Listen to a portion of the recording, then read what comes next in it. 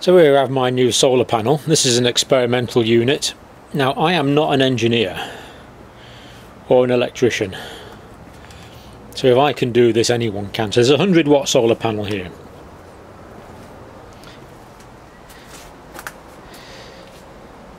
And that's generating a certain amount of electricity. Now I did think about putting it on the wall. But then I ended up putting it on this rack because you can kind of angle it to the sun.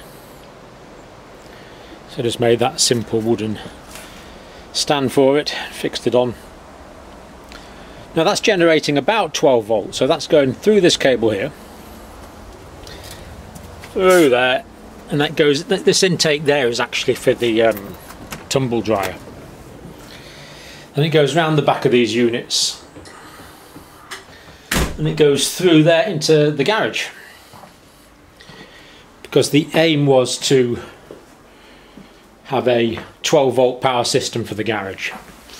Now, that goes under here to the battery setup down here.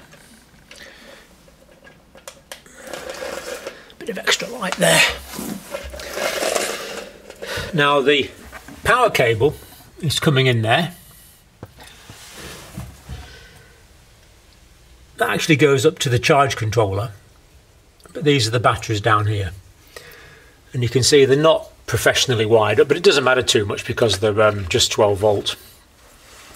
So what I've done is I've connected the positive to the positive and the negative to the negative to give me a um, I think electricians say it's a parallel arrangement. So it means there's still 12 volts coming out. Anyway going back to the story this is the wire here carrying the energy from the solar panel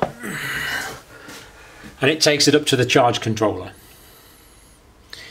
Now you need charge controller. In fact, I'm going to switch the lights on just there we go. So going into here, we have the current from the solar panel, positive and negative. So it's pretty straightforward to wire up. That's the connectors to the battery and this is the output. And you can also charge up your um, USBs which is quite nice. Now the wires from the output are going up here past my wine supply along there up to the lights. Hopefully this won't be too dazzling. Now I did try putting these lights on first, I'll just point to them, those ones there the top of the picture. They're actually for um, caravans and trailers. didn't work particularly well, so what I did was I went to um, Toolstation and for just under seven pounds I got these three lights that are absolutely brilliant. So my workspace is really well lit up now. Just uh, turn it off to show you the difference. There we go Of course, modern video cameras are so clever they adapt. Now, let's think about cost. The batteries, I've got an oldish battery there and a newer battery there. And these are old car batteries. Now, if you were buying batteries for these, you'd buy the deep cycle type. But I got those free, that's why, that's why I'm using them. So two free batteries. Charge controller was 1150 from uh, online, Amazon or eBay or somewhere like that. The solar panel was £90, or was it 80? Between 80 and 90. They've gone up a bit lately because of the low pound uh, exchange rate.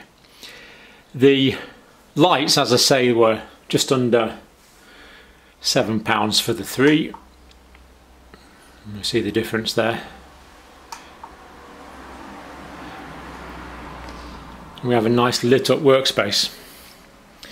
So a very simple system, costs around about £100 altogether. As I say, if I can do it, anyone can. So this is completely isolated from the grid. You can have this in any simple home in Africa or Asia or anywhere. You haven't got the fire risks associated with fuels. Burns are a major problem in developing areas poorer areas. You've got a safe technology that should last for I would hope many years, probably even two or three decades, giving light all the time. And I'm expecting this uh, 100 watt solar panel to supply all the light I need for my work in the in the garage.